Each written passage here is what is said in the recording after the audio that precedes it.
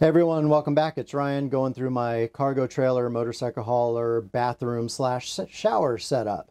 So I'm going to go off camera and just kind of point out some of the main features of it for you.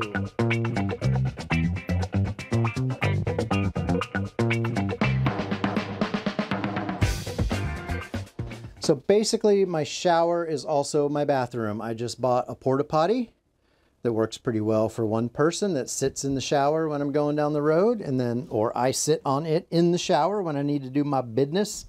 Um, or I can move it out. Originally actually this was going to be the bathroom area but I thought you know what? If I've got a shower box why do I need a completely separate um, area for pooping? Why don't I just sit it in the shower and sit there and make this the bathroom and shower stall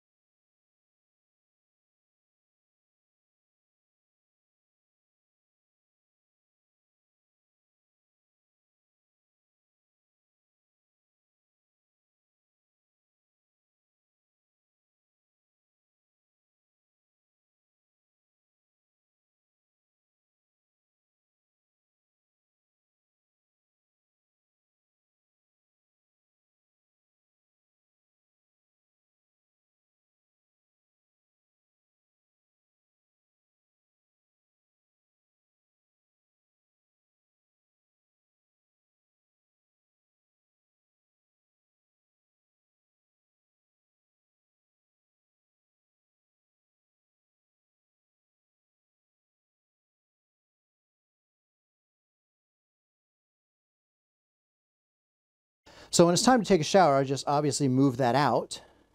But the nice thing is the way I did this shower box, which is 48 inches high, it's just two walls, right? So let's come around to the back side. I've got the water tank that feeds it there.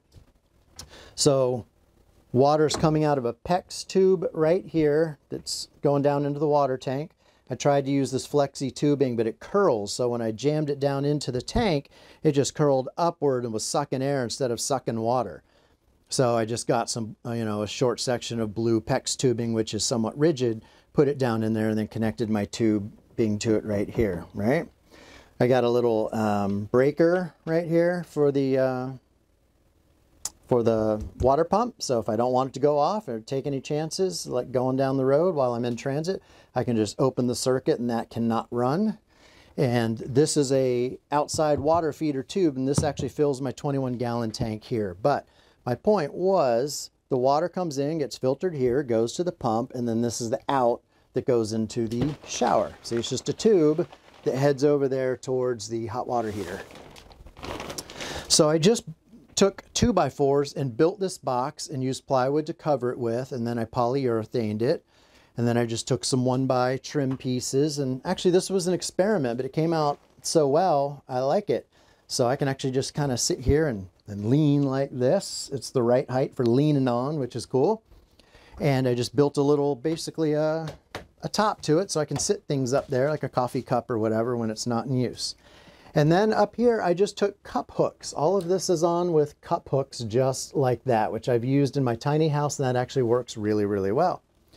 So the water comes in, it's controlled by this valve. The valve comes to the water inlet on this propane outdoor use only hot water heater, but um, I think they just say outdoor use only to cover their ass legally. I don't think there's any problem using them indoors. And if I'm wrong, um, I have the carbon monoxide detector down there, that guy that I just pointed out in the other video, um, to protect me. So this is kind of propane, propane, the heater, and of course propane on the kitchen stove. So that's all being fed under the, uh, that comes in under the sink in the bull nose and runs across the floor over to here, then up, and that's how this hot water heater gets its propane.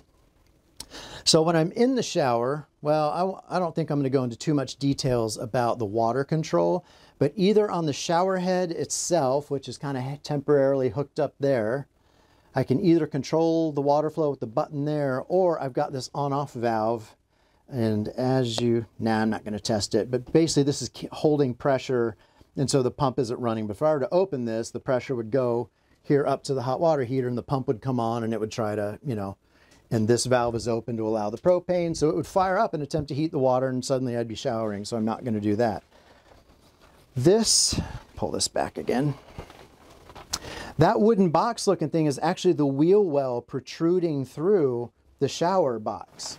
So all I did, let's get this out of the way.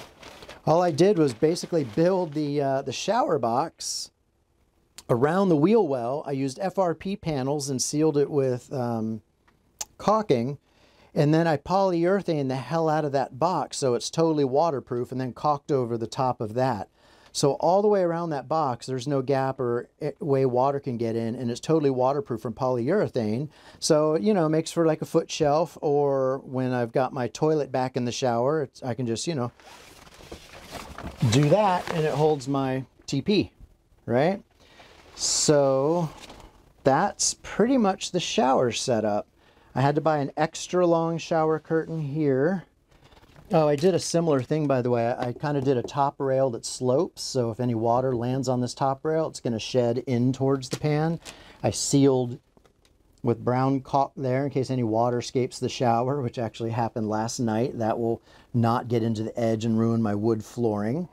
And I brought the FRP, which is the white panel, I brought the FRP panel out a little bit just because I knew my wet dripping hand might be sticking out of the shower you know, adjusting the temperature controls, the gas controls there, and, you know, shit happens. So I just wanted to have the waterproofing extending out a little bit beyond the shower.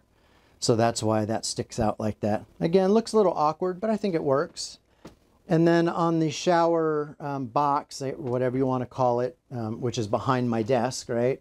I'll have an office chair sitting right here so I can actually work when I'm on the road but I'll, you know, tuck the chair in or throw it up on top of the bed when not in use. And I just temporarily, since I don't have a closet cabinet, a wardrobe, I put up a hook. And so I'm hanging my motorcycle jacket there. So that's pretty much the entirety of my plumbing and shower setup.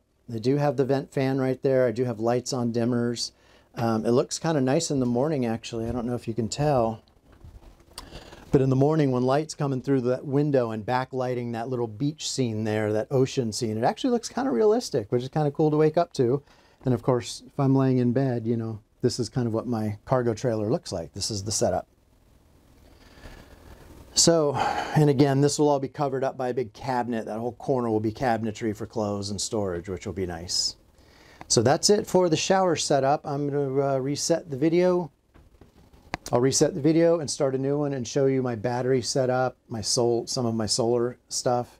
Not in great detail because I'll probably do another video just exclusively on the solar system, but I'll just kind of lift the bed up and show you the storage underneath and what my batteries look like. That's still a work in progress as well. But anyway, I hope that gave you some ideas for your cargo trailer, moto hauler conversion shower and propane hot water setup ideas. So I'll see you in the next video. Bye-bye.